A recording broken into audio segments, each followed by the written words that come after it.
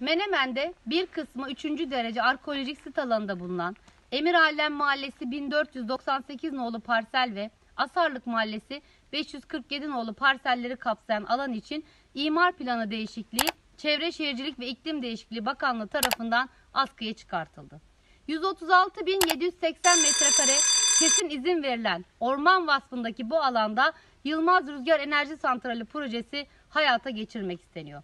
Bu kesin izin verilen alan içerisinde trafo alanları, idari merkezleri yapımı yanı sıra 70 bin metrekare alanda da ağaçların kesilmesi işi onaylandı. Her sene binlerce hektarlık alanı orman yangınlarıyla kaybederken yine devletin bilgisi ve ilgisi dahilinde Menemen'de bir doğa katliamı yaşanacak. Buradaki yaban hayatı, börtü böcek zarar görecek. Bunun yanı sıra küresel iklim krizi kapıda. Paris İklim Anlaşması büyük uğraşlarımız sonucu 6 Ekim'de meclisten sonunda oy birliğiyle geçmiş. Bakanlığın adına da iklim değişikliği ifadesi eklenmişken ormanlarımızın katledilmesine, rant uğruna özellikle de sırf rant için katledilmesine, talan edilmesine seyirci kalamayız. Bugün burada Menemen ilçe başkanımızla birlikte alanı hep beraber inceledik. Menemen'deki ormanlarımızı 2060 yılına kadar talan etme yetkisi kime verildi diye baktığımızda yine karşımıza Bilal Erdoğan ve Kartal İmam Hatip Lisesi'nden arkadaşı Raif İnan çıktı.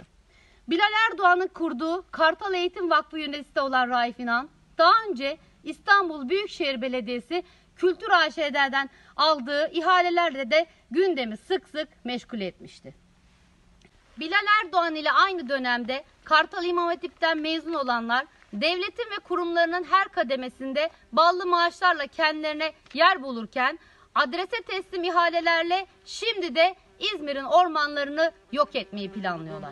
Bütün Türkiye'yi talan eden bu yapı İzmir'e gözünü dikmiş durumda. Ancak İzmirli hemşerilerimizin ve bizim bu talan organizasyonuna dur demek için mücadele edeceğimizden kimsenin şüphesi olmasın. Menemen ilçe başkanlığı olarak bu rant düzeninin, rant planının uygulanmasının takipçisi olacağız. Bu alanlar seçilirken yüzlerce yıllarda oluşan ormanların yerine daha uygun alanların seçilmesinin daha doğru olacağını düşünüyoruz.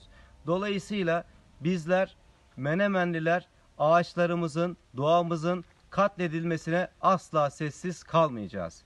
Teşekkür ederim.